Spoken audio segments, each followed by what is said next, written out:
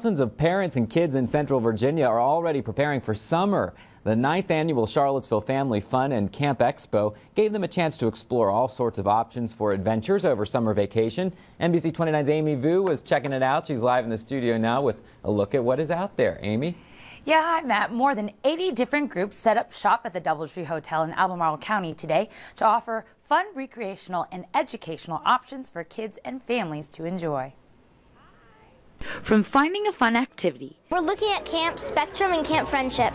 To finding some quality family time. My sister, she's starting a face painting business at the age of 11, and I'm here to help her. I'm starting my own business now. Really? Maya Style Face Painting. The Charlottesville Family Fun Fair and Camp Expo was packed with kids and parents Sunday.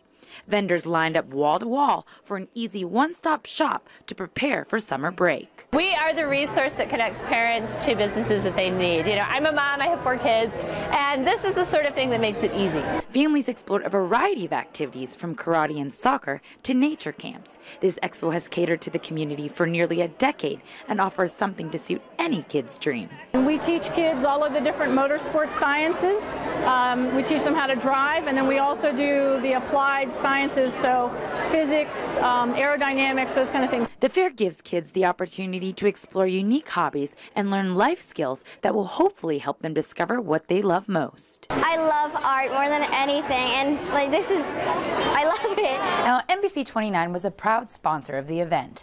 Organizers say close to 500 people walked through the door in the first hour. They estimate 2,500 people checked out the fair by the end of the day. Live in the studio, Amy Vu, NBC 29 HD News at 6.